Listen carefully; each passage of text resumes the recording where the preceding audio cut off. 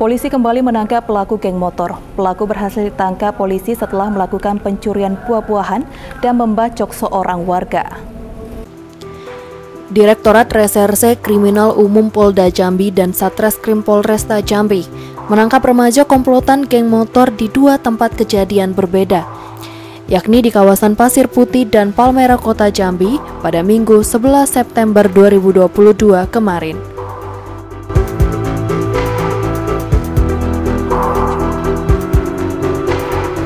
Penangkapan ini berawal dari aksi viral mereka yang melakukan aksi pencurian buah-buahan dan menyerang seorang warga yang menyebabkan luka bacok di bagian tangan dan punggung, sehingga terpaksa dilarikan ke rumah sakit.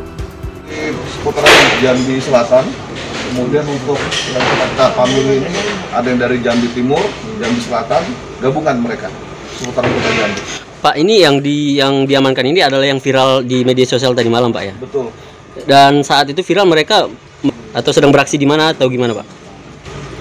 Jadi video itu yang merekam adalah unit opsional Oh. uh, gabungan dari Direktorat Krimum maupun dari Satreskrim Polresta Jambi. Oke, oke, oke, Pak. Dalam kesempatan tersebut, polisi mengimbau penangkapan terhadap geng motor yang berulang kali dilakukan pihaknya bukan merupakan suatu kebanggaan. Dirinya meminta orang tua dapat mengawasi anaknya masing-masing, sehingga kejadian seperti ini tidak terulang lagi dan tidak menimbulkan korban baru lagi.